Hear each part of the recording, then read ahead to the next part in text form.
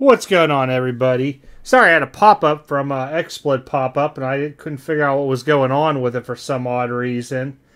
But something different. Uh, this picture is actually shown to me at the show last weekend in Lexington. Uh, no, it was not posted in Lexington. I'm guessing it might have been in Dallas or something like that. I have no idea the origin of it.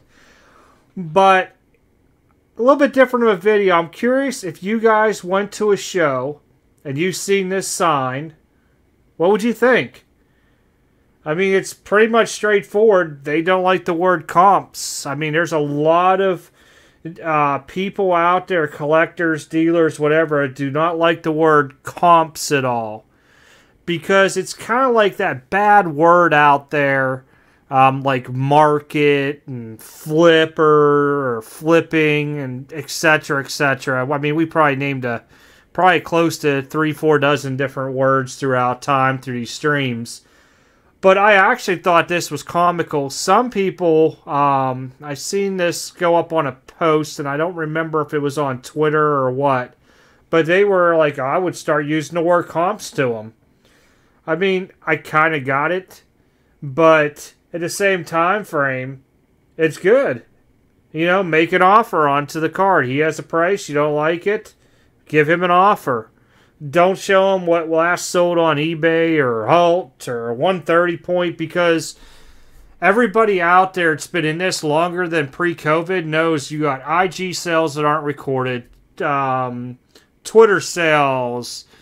Oh, MySlabs is out there. Although some of them are starting to get documented, I've seen on a couple sites. I mean, regular house shows, deals between people that don't care about social media.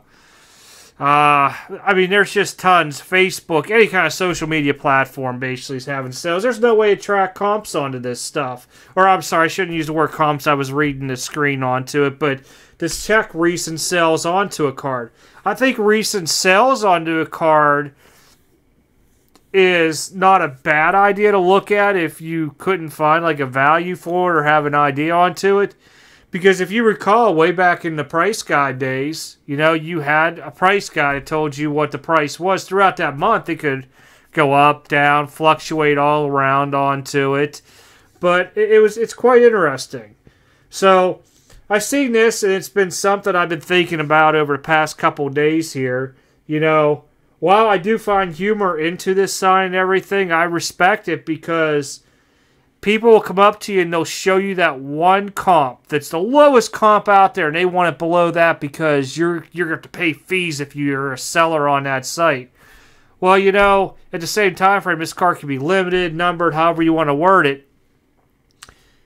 Find one else elsewhere go back onto that platform and pay your fees and uh, whatever else, sales tax and shipping, and hopefully the card makes it to you, you know, and it's in great shape if it's raw. I mean, there, there's all kind of ways to look and approach this.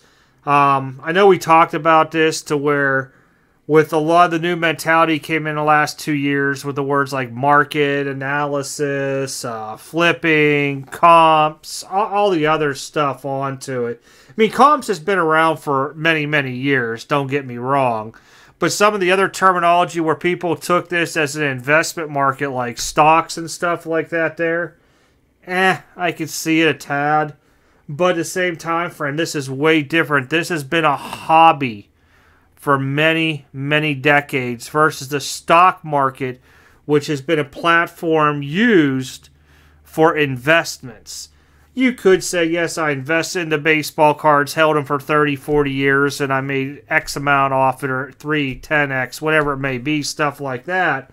But was never looked at that. It was an enjoyable hobby that, you know, um, groups of friends got to do, dads got to share with their kids, grandpas maybe even shared with their grandchildren and stuff like that out there.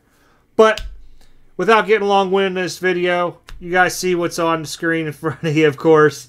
What would you th- what do you think first of all on this sign and you know, do you think it's rude by them saying that? I mean, I kind of with the exclamation points, I got kind of might come across rude, but you know, if you saw something like that, would you walk past the table and just be like, I ain't messing with them? I mean, if you're there for steals and deals, you definitely want to walk by or at least give a guy a reasonable offer onto it too. But all right, guys, have a good one. And I will catch you guys next video because I really am actually looking forward to seeing a lot of the comments on this one because I'm sure, uh, as always, I'll learn some stuff from it, but it also gives me a different aspect on how other people are looking at it versus myself as well. All right, guys, I'm out. See y'all next video.